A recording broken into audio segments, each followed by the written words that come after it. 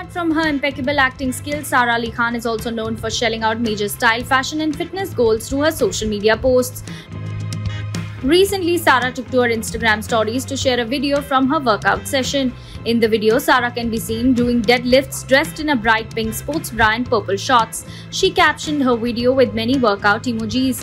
Sara chose to use Aamir Khan's movie Dangal's title track for her background music for the video. Sara enjoys a massive fan following on Instagram with an army of more than 40 million followers, and through this video, Sara definitely inspires many to buckle up and hit the gym. For more news and updates, stay tuned to E Times.